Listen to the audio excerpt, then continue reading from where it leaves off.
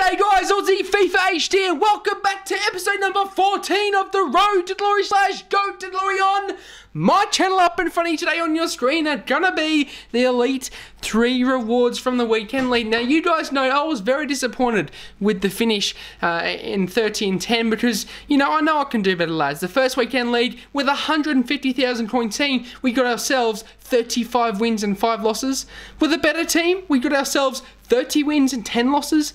Lads, how does it work? I have no idea how, but lads, it doesn't matter. That's in the past. This weekend league coming up, hopefully I'll do better in that one. But lads, today it's all about the rewards, the 100k pack, and the three informed guaranteed team of the week pack. Lads, I cannot wait to open these. I'm hoping for something good. 70,000 coins, one 100,000 coin pack, and one guaranteed three informed pack. But just before we jump into them, we are going to check out the team of the week any good player above 100,000 coins I'll be happy with. To be honest with you, I can get a player that's only worth 100k, I'm happy because, like, you know, I just I just want to buy players for the squad. You know, we are lacking a little bit up top I wouldn't mind uh, getting myself a Gabriel Jesus. That would be very nice indeed. De Gea as well, you know, Sterling, Thiago, Immobile, uh, Icardi, any of those players, lads, I'd be very happy. Zaha, you know, he would be a fantastic striker for the weekend league, although I probably would think about selling him and maybe investing in Martial or Dembele. But we'll, we'll clear those off the transfer list and uh, we will jump into the packs, lads. Obviously, we have a 100k pack. There won't be much market around we open the pack. Come on, lads. I'm hoping for a flare. I'm hoping for a walkout today. What do we get? It's a flash. Come on, lads. Come on. We need something good. Let's go. Come on. Netherlands. I thought it was Robin. I thought it was Robin. It was his partner in crime, the bald-headed guy, just like Robin, Mr. Wesley Sneijder. A little bit dis... Not even...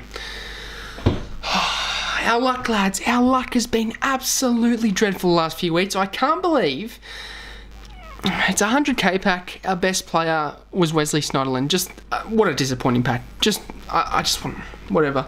I'll just send to the transfer list and hopefully, lads, we can get ourselves a good inform in this pack. I'm hoping for something good. Come on. I'm just, I'm just hoping, lads. Come on. Come on. We need some good luck here, man. Come on, give us a good flag. Argentina.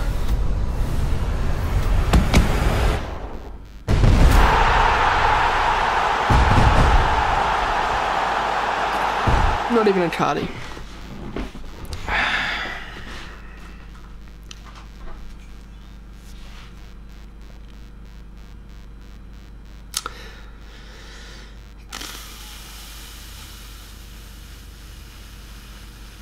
I hop on Twitter. I hop on Twitter and I see all these people packing Ronaldo's icons, informs worth at least above 50,000 coins.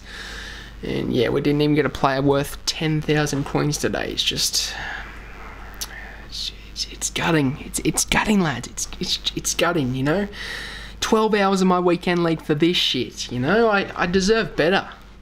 Yes, it's only Elite 3, but I'm guaranteeing you that most people will get better packs than me this weekend, League. We need our pack luck to come back, lads. We need that Team of the Season Dybala pack luck that we had last year to come back, because what we've got these days is just dreadful, lads. It's just dreadful. Look at the transfer list.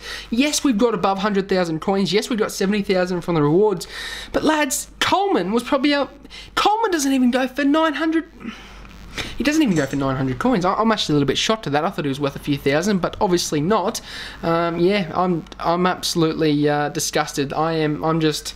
Yeah, that's. But that you know that will be it for me today, lads. I hope you enjoyed this video. Can we smash 20 likes to show your support on this video and to give us the hope that we will get ourselves another elite finish or elite one finish next weekend. Hopefully I will. Hopefully I will, lads, and hopefully our marquee player in Mr. Hullet will take us there. But that that will be it for me.